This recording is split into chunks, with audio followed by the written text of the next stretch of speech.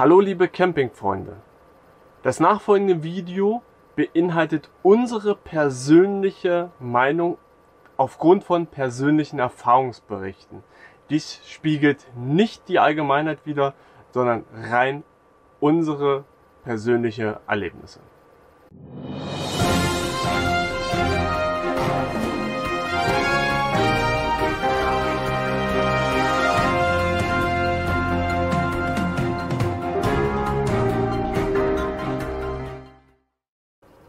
So, von mir natürlich auch nochmal ein Hallo. Äh, sind jetzt nicht so mit der besten Laune, aber äh, ich würde sagen, das erzählt der Marcel jetzt einfach mal. Genau, ihr habt es im Intro wahrscheinlich gelesen, deshalb schaut ihr wahrscheinlich dieses Video. Also, es ist jetzt äh, das passiert, was wir äh, eigentlich nicht für äh, möglich gehalten haben. Ähm, einziges Positives, ja, unser Malibu ist da. Der Schwarze ist äh, tatsächlich angekommen, aber mit gleich drei Hiobsbotschaften. Und das einfach mal äh, kurz hinzusetzen, damit ihr es Bescheid wisst.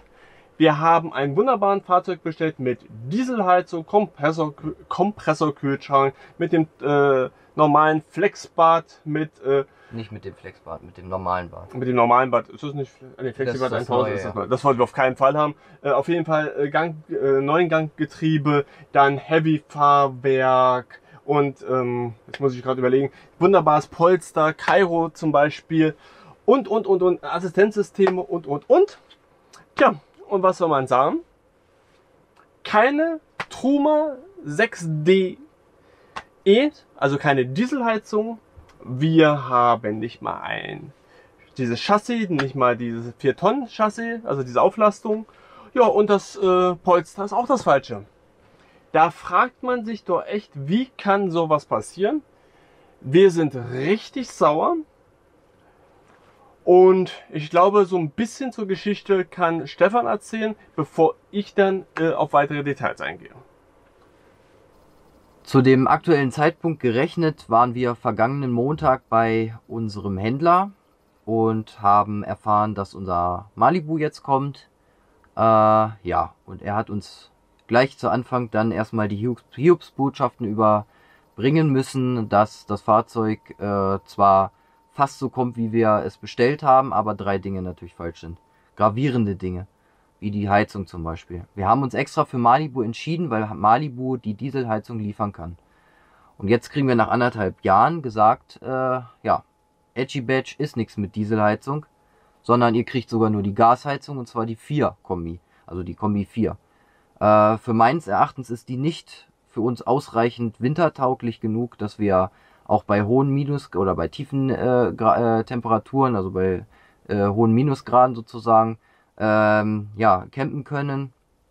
Und dementsprechend fällt für die, uns dieses Fahrzeug komplett, äh, ja, gar nicht, kommt es gar nicht in Frage. Also die anderen Sachen stimmen vielleicht, aber äh, das ist das Gravierendste. Ähm, ja, was soll man sagen, wenn man so eine Nachricht kriegt? Man ist erstmal schockiert und fragt erstmal, wo passiert, also wie passiert das? Wo kommt der Fehler her? Ähm, was wir dann gemacht haben, ist auf jeden Fall äh, mit unserem Händler gesprochen, wie kann das passieren? Ähm, warum ist das passiert. Wir haben äh, diverse äh, Bestellungen durchgeguckt und so weiter und haben halt äh, gesehen, dass, dass wir das immer wieder richtig bestellt haben äh, von unserer Seite aus. Also das heißt, alle Konfigurationen waren alle mit Dieselheizung. Also gar nicht verständlich, warum das passieren kann. Ja, auch daraufhin haben wir dann uns überlegt, wir schreiben einfach mal eine E-Mail an Malibu und fragen die mal, äh, dass die uns äh, ja eine Stellungnahme dazu geben können. Aber wie das weitergeht, das erklärt euch jetzt der Marcel wieder. Stefan hat euch gesagt, wir haben dann tatsächlich eine Mail geschrieben an äh, den Mitarbeiter, mit dem wir auch auf der Messe zu tun hatten, weil der uns eigentlich einen sehr freundlichen Eindruck vermittelt hat, dass der uns auch wirklich helfen will. Er hat die Hilfe angeboten und dementsprechend haben wir eine Mail geschrieben, haben äh, auch drin geschrieben, dass wir maßlos enttäuscht sind, äh, weil das wirklich gravierende Dinge sind. Ihr kennt vielleicht das äh, Video, was wir vorgestellt haben bezüglich äh, unserer Entscheidung. Da wäre auf Platz 1 gewesen der Pösse Summit Prime 600, weil wir genau der wäre dann so gewesen. Das wäre eine Gasheizung gewesen, dann hätten wir das gemacht. Den haben wir gerade nicht genommen, weil Dieselheizung. Das war das, was wir haben wollten. Ja, aber im Endeffekt mit den ganzen Laufereien hätten wir das schon längst machen können. Genau, das Da heißt, hätten wir besser zur Konkurrenz gehen können. genau, das heißt, äh, deshalb haben wir uns für Malibu entschieden und das ist wirklich ärgerlich und wir waren wirklich auch stinksauer, weil wir am 5.9. haben wir die Konfigurationsdateien tatsächlich schon das erste Mal zu dem Mitarbeiter geschickt, dass er darüber prüfen kann und etc. Oh. Im Endeffekt haben die uns jetzt tatsächlich auch geantwortet. Und diese Nachricht äh, ist eigentlich ein Schlag ins Gesicht jedes Endkunden. Ähm, Im Endeffekt, der Händler ist schuld, der Händler ist schuld, der Händler ist schuld. Und äh, ihr habt das alles missverstanden auf der Messe. Äh, ihr, äh, so wollte ich euch gar nicht helfen. Ihr wollt mal gucken, ob die Konfiguration so passt und wollte mit dem Händler dann sprechen. Ja, vielleicht ist das in dem Hause so, aber da kommt noch eine Story danach, die uns dann noch wütender macht eigentlich, weil wir seit Anfang Januar, seit Anfang Januar sind wir mit Malibu in Kontakt ähm, mit den ganzen Leuten. Wegen Kompressorkühlschrank, das war eine Sache, weil wir nicht dachten, na, jetzt ist der auch nicht dabei und, und, und. Und dann am Schluss nur noch zu sagen, ja, der Händler ist am allen schuld und auf zwei wichtigen Fragen, wie zum Beispiel die Marke Malibu solche Vorfälle zukünftig vermeiden will und welche Maßnahmen sie zur Kundenzufriedenheit äh, jetzt äh, machen wollen. Also sie sollen uns jetzt hier keinen Gutschein schenken, interessiert uns ein Scheiß, weil wir innerlich von Malibu abgeschlossen haben. Aber wie sie sowas machen wollen, weil das geht ja an euch. Das wirklich, wir vielleicht die letzten Gelackmeierten sind und danach nur noch positive und strahlende Leute umherlaufen, ohne dass sie nach Tschernobyl fahren müssen. Äh, auf diese Fragen hat Malibu einfach keine Antwort. Und das ärgert uns en masse, weil wir haben uns von einem Premium-Hersteller weitaus Besseres erwartet. Und ja, eine Sache, die ich glaube jetzt noch gleich erzählen möchte, ist, dazu werden wir mal kurz einen Cut machen, ist einfach die Tatsache, wir spielen jetzt das Spiel einfach durch. Unser Händler ist an allem schuld. Laut Malibu ist unser Händler an dieser Fehlkonfiguration schuld. Er hat irgendwie nicht das bestellt, was wir konfiguriert haben, sondern das, was dann im Endeffekt da rausgekommen ist. Und äh, wir kennt ja schon die Story, Malibu und unser Händler haben die Wege sich getrennt. Je nachdem, wen man fragt, gibt es unterschiedliche Äußerungen. Wir bleiben jetzt nur auf den Pfad von Malibu. Denn dort hat sich Malibu von den Händler getrennt, weil sie nur Schwierigkeiten mit dem Händler haben. Sie haben nur Beschwerden, sie haben nur etc. über den Händler etc. Das waren die Aussagen, die man uns getätigt hat. Dann ist für uns wirklich die große Frage, wenn wir auf der Messe auf die Kollegen ansprechen und sagen, Leute, wir brauchen Hilfe, unser Händler kann uns keine Informationen liefern. Wir schicken die Konfigurationsdatei zu, wo alles drin zu sehen ist. Und dann kriegt man so eine Mail zurück. Da kann man eins nur sagen, Malibu interessiert sich einen Scheiß für den Endkunden. Die sagen, es ist, wir müssen uns an den Händler wenden. Das ist im Regelfall auch so. Kann man auch echt nicht sagen. Normalerweise wendet man sich immer an den Händler. Aber die haben sich äh, laut Malibu zerstritten. Die machen eine schlechte Qualität. Und wenn man das hört und man wendet sich dann aber an die Marke, weil hier steht überall Malibu dran. Da steht nirgendwo Autohaus XYZ. Da steht diese Marke dran. Und da frage ich mich ganz einfach, schön, was glaubt ihr? Man hat doch dann dieses Gefühl, dass man von der Marke, von dem Hersteller in, äh, wirklich äh, in Stich gelassen wird. So ist das Gefühl und ich muss ehrlich sagen, nur das dahin zu schieben, obwohl man weiß, man hat mit den Händler Probleme, sich nicht um den Endkunden zu kümmern. Dass sie sich nicht um 30.000 Endkunden kümmern kann, ist klar.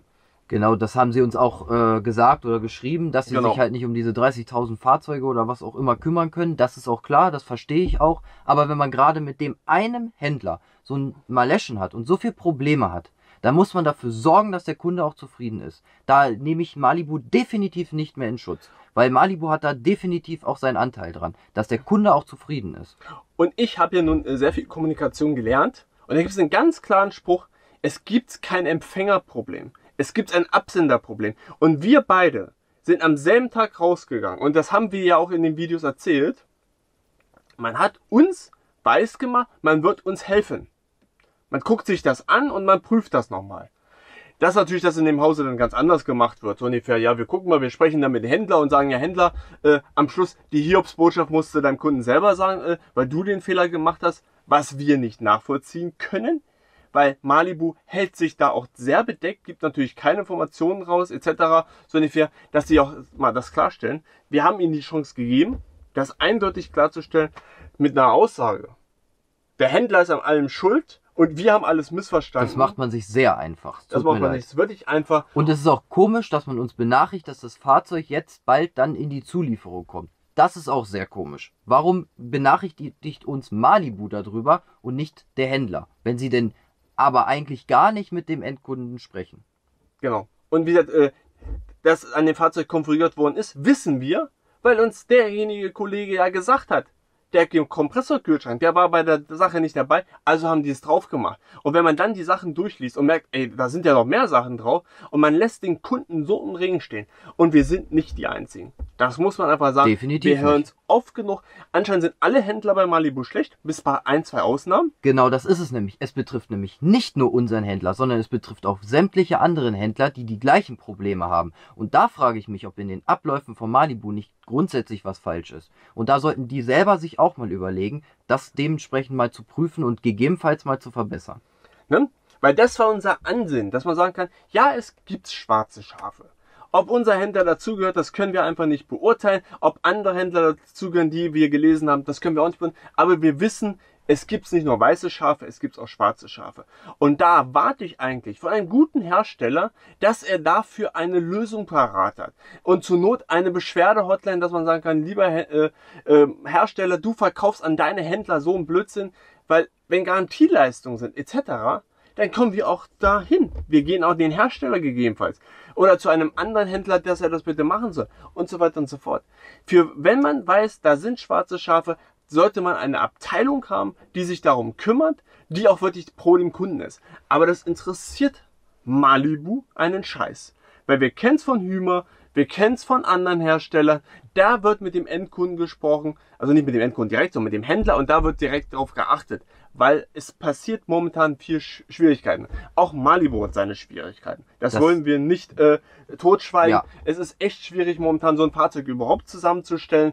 Ähm, und äh, das kann man denen auch in Schutz nehmen. Und äh, auch sie werden große Schwierigkeiten, weil Fiat nicht liefert und so weiter und so fort. Aber am Schluss eine Endkommunikation mit dem Kunden so zu machen, dass der Händler an einem schuld ist und ihr habt äh, mich völlig missverstanden.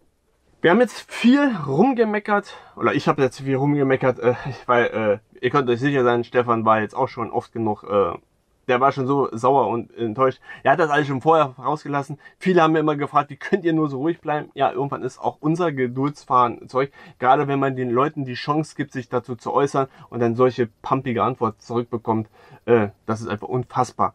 Wir selber sind mit dem Produkt Malibu wirklich zufrieden. Äh, wir kommen hier rein, wir haben einen Wohlfühlfaktor etc. Das kann man nicht schlecht reden. Das ist wirklich eine Klasse für sich. Das ist auf jeden Fall für uns so. Das muss genau. man dazu sagen. Aber wir haben es schon auf, äh, bei gewissen Händlern gemacht, äh, woanders, äh, weil wir auch gefragt worden sind zu diesem Fahrzeug. Wir raten jeden momentan ab, eine Malibu zu bestellen. Das hat einfach die Gründe, die wir erfahren haben. Und natürlich muss man dazu sagen, Corona, Fiat kann nicht liefern, etc. Es werden Sachen, ich lese in Facebook-Gruppen, ihr kriegt euer Fahrzeug nächstes Jahr im März, April. Ich frage mich, wollen die einen verarschen? Neu bestellt auf einer Messe und die sollen das jetzt kriegen. Und dann ist noch die Frage, kriegt ihr auch das so, wie es bestellt ist? Denn es ist ja auch dann noch die Frage, ob gewisse Teile auch lieferbar sind. Das ist nämlich das zweite ne? Problem. Das kann Malibu, wie viele andere Hersteller, aber andere Hersteller sind da weitaus äh, offener und auch ehrlicher.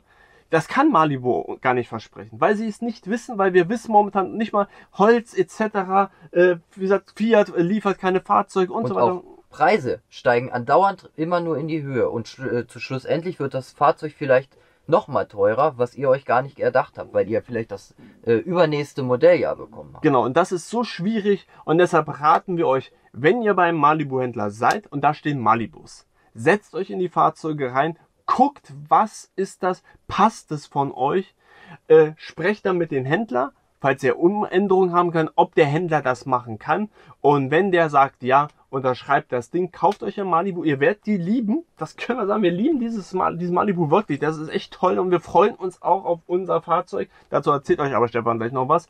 Äh, aber bestellen würden wir euch nicht anraten. Das ist aktuell viel zu gefährlich, viel zu äh, riskant, weil ihr am Schluss eine große, ich weiß gar nicht, wie heißt es momentan, ihr könnt euch solche Surprise-Boxen beim Mediamarkt oder Saturn oder sonst was kaufen. Genau sowas ist das. Das sind Überraschungsboxen, ihr wisst nicht, was am Schluss kommt.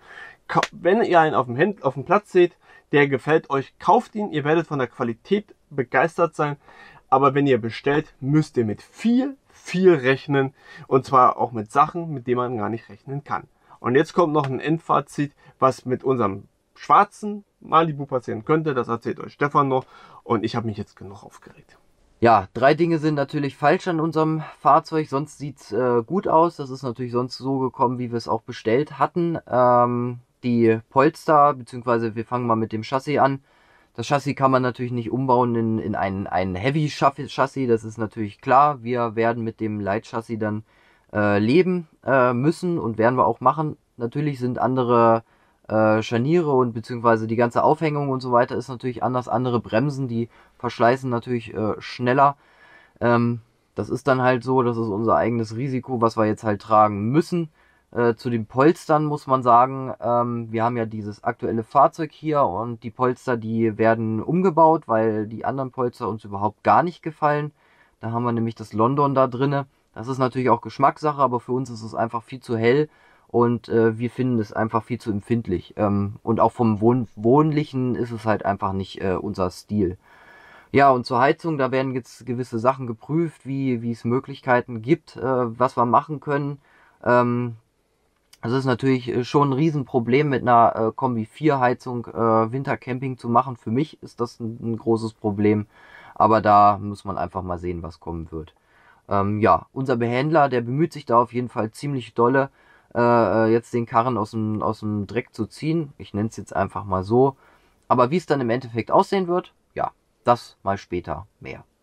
Ja, ein langes Video geht jetzt hier wieder zu Ende, aber wir mussten einfach mal wirklich Tacheles reden, äh, weil so enttäuscht, ähm, wie wir sind, kann man gar nicht erdacht, ne? Hätte man uns erdacht. Und wie gesagt, ich möchte auch nochmal hinlesen, wir haben es ja extra gesagt, äh, wir sind jetzt den Fall durchgegangen, dass unser Händler an allem schuld ist. Wir haben da eine andere Meinung zu.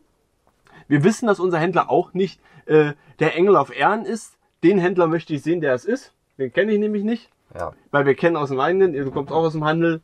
Wir sind alle keine Engel. Aber, und das wird äh, auch mit anderen Händlern so sein. Genau. Aber äh, so wie er dargestellt wird mit dem, äh, wirklich, er ist nämlich nur schwarze Schaf, pechschwarze Schaf, das möchten wir einfach nicht. Dafür sehen wir, er ist wirklich bemüht, uns äh, am Schluss irgendwie zu einer Lösung zu helfen. Und äh, das kann man leider, und das muss man sagen, von Malibu nicht behaupten. Nochmal, wir sind mit, der, mit dem Fahrzeug zufrieden. Wir mögen das Fahrzeug, möchten es auch nicht hergeben. Und wir freuen uns auch auf unser neues Fahrzeug. Auf unseren Schwatten. Genau. Aber äh, sonst sind wir auch ehrlich froh, wenn wir einen ganz großen Haken dann an dieser ganzen Geschichte haben oh ja. und wir uns damit nicht mehr befassen müssen. Das soll es, wie gesagt, jetzt als Kurzabschluss, als Fazit gewesen sein. Ja, schreibt gerne in die Kommentare, äh, wenn ähm, ihr dazu noch Fragen habt, äh, ob ihr auch Probleme habt. Äh, auch wenn es hart klingt, wenn ihr äh, Kommentare schreibt, dass es jetzt alles unsachlich ist, etc., äh, ja, könnt ihr gerne runterschreiben. Äh, es ist unsere Meinung, haben wir ganz am Anfang gesagt. Es ist unser Erlebnis. Ähm, und, und, wir wissen auch, es gibt definitiv noch weitere Kunden und nicht nur bei dem Händler, sondern auch bei anderen Händlern. Und das ist dann schon sehr komisch. Das genau. dürfte es nicht geben, wenn es immer nur unser Händler ist. Genau, und das muss man einfach sagen. Aber, wie gesagt, das ist es jetzt so. Und wie gesagt, ähm, wenn euch das Video gefallen hat, lasst einen Daumen da nach. Wenn ihr jetzt sagt, das war alles Kacke, der, Händ äh, Malibu ist Kacke, unser Händler ist Kacke, wir sind Kacke und gebt uns einen Daumen runter. Es ist uns wirklich in dem Falle jetzt egal. Wir mussten das einfach rauslassen und weil es geht dann an euch. Achtet darauf, was ihr momentan macht. Denn äh, vielleicht ist Malibu im Endeffekt nur der Anfang von einer großen Welle, die da noch kommen kann. Das ist nicht auszuschließen, weil wie gesagt, wir wissen, was gerade los ist. Es, also wir sind, wir machen unsere Augen nicht blind. Wir wissen, dass Corona ist, ist alles bisschen kacke, aber es geht darum, wie behandelt man den Endkunden. Und da ist Malibu. Tut mir leid, äh, sechs Sätzen hat leider die Klassenstufe nicht erreicht. In diesem Sinne wünschen wir euch alles Gute. Wir freuen uns auf unser Schwatten und dann sehen wir uns schon bald wieder beim neuen Video aus einem schwarzen Malibu auf unserem Kanal Kreuzfahrtcamper. Ciao, ciao. Tschüss.